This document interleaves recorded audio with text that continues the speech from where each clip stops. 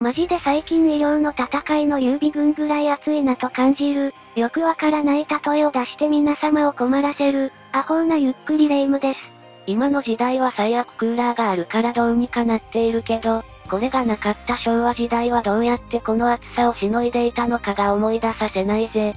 孔明から東南の風を起こさせて涼もうと考えている、オカルトなゆっくりマリサだぜ。今回は三国志小話。紹介するのは5の二世武将は無能がなぜか多い件についてを紹介していくわね。多くの歴史書を見ると名将の息子が凡将だった。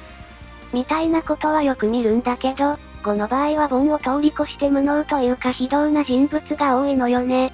これもまた土地柄ってことなのかな。まあなんとなく5の武将って劇場型が多い気がするからな。そういう人が多くいてもおかしくない気がするぜ。じゃあ最初に感想から紹介していくわね。感想は5で孫家三代に仕えた名将、関東の息子にあたる人物よ。関東は関東の死後にその兵力を受け継いだのよ。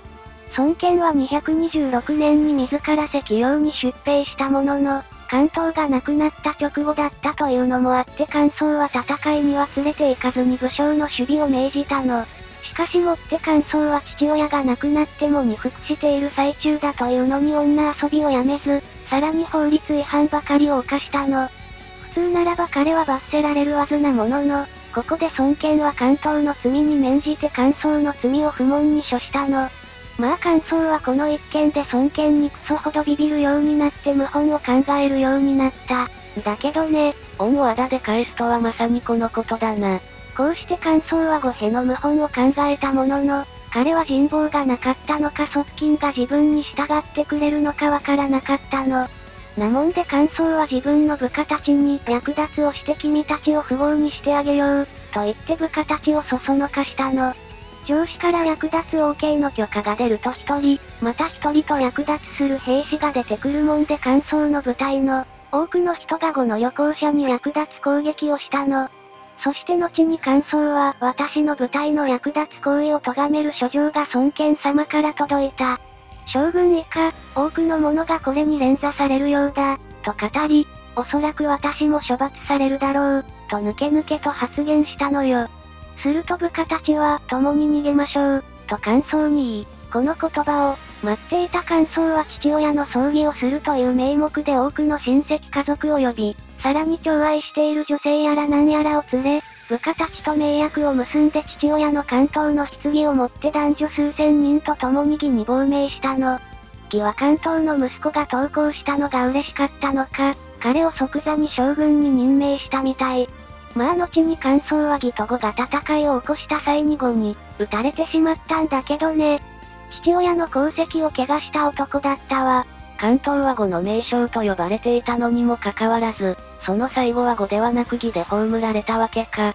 これが一番悲しき名称の最後かもしれないな。じゃあお次に衆院を紹介していくわね。衆院は石壁の戦いなどで膨大な功績を残した周遊の息子よ。衆院は孫権も世話になった周遊の息子ということもあって公領問いに任命され、孫権の一族の女性と結婚して数千人の兵を率いて公安に駐屯していたの。まあ後に彼は罪を犯してる刑になったんだけど、おそらく孫権は周囲が周囲の息子なので、多少の罪ならば不問に処したわずだ。そんな孫権が周囲の罪を許さなかったことから、周囲の罪は相当大きそうだぜ。この衆院の流刑を受けて後の重臣である諸葛金と保湿は、周囲の息子衆院は幸いにも孫権様のご好意で将軍になりましたが、彼はもらった領土の経営や功績を立てようという気概を見せずに欲望のまま動き罪を犯しました。衆院はもう擁護できませぬが、彼はあの周遊の息子です。五国がここまで大きくなれたのも周遊のおかげなので、どうか罪の免除をしてくれませんか、と懇願してきたの。後進の息子だから許せってのもなこれがまだ父親が懇願してくるのならまだしも、他人が言ってくるのもちょっと違う気がするぜ。これを受けて孫権は、私が周囲の功績を忘れたことが一日でもあろうか。周囲がまだ子供だった頃、何の功績も打ち立てていない彼に精鋭を授けて将軍にしたのも亡き周囲のことを思ってがゆえだった。しかしこれが良くなかったのか衆院は酒や女遊びばかりするようになってしまい、私がいくら注意してもこのざまだった。私だって、周遊への思いは君たちと同じだ。衆院が成長してくれると私だって嬉しいが、だからといってその罪を不問にするのはどうかと思う。コタビル系に処したのも彼が本気で反省してくれるんじゃないかと考えただけだ。いずれ、時期が来たら衆院の流刑を取り消そう、と言ったの。その後、諸葛金、保湿に加えて後の重鎮である主善と前奏も同様の願いを尊権に、伝えたもんで尊権は衆院の流刑を取り消したの。まあその直後に衆院は病死したんだけどね。功績は書かれず、よくわからない罪しか載ってない男だぜ。じゃあ最後に諸葛優を紹介してこの動画を締めるわ。諸葛優はあの諸葛亮孔明を弟に持つ諸葛金を父に持つ人物で、諸葛金の死後に父親の地位を受け継いだ人物でもあるの。諸葛優には諸葛閣という兄がいたものの、諸葛金が亡くなった当初、諸葛閣はすでに後で膨大な功績を残してそれなりの地位になっていたもんで、諸葛優が父親の爵位を全て受け継ぐことができたの。持つべきものは優秀な父親と兄だぜ。諸葛優は大将軍の家に生まれ、若くして贅沢な暮らしをしていた男だった。そんな人物だったもんで諸葛優は文章をよく勉強して幅広い知識は持っていたものの、その知識自体は精密なものじゃなかったみたい。しかしながら諸葛優は優しい性格をしており、さらに色々な小技に秀でていたようで無冠の時から朝廷に出入り、していたらしく、尊権に気に入られたのか問いに任命されたの。諸葛優のお父さんの諸葛金も優しい性格をしていたしな。父親の性格を受け継いでいるのかもしれないぜ。諸葛優は部下や兵士によく懐かれていたらしく、彼が辺境に駐屯してからというもの特に大きな事件も起こらなかったの。なもんで諸葛優は秋と冬には狩猟と兵の訓練をし、春と夏には遠方から賓客を招いて大宴会を開いていたの。この宴会は相当楽しかったらしく、わざわざ休暇を取っていたのにもかかわらず、千里の道をかけてこの宴会に出席する人もいたみたい。諸葛優は宴会の度に賓客と会い、どの遊びが得意なのか質問したの。その答えに応じて賓客たちを案内していたようね。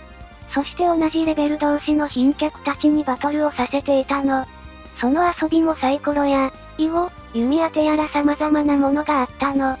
そしてその遊戯場に美味しい果物やら美酒やらを持って行って彼らをもてなし、諸葛遊自身は1日中賓客たちの遊戯を楽しんでみていたみたい。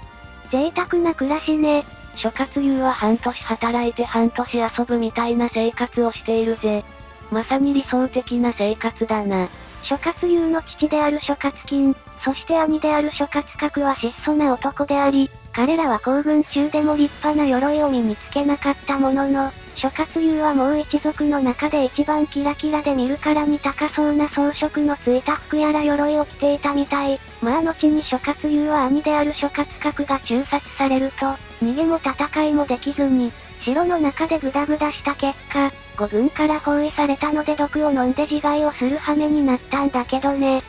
遊び人の最後だったわ。将軍に向かない男の最後だったぜ。さていかがでしたでしょうか？今回のお話は。もしよければチャンネル登録や高評価をよろしくお願いします。感想のコメントや紹介してほしい武将のコメントも大歓迎だぜ。親が偉大すぎたばかりに失態が目立ちすぎる男たちだったぜ。それじゃあ今回はここら辺で、まったねー。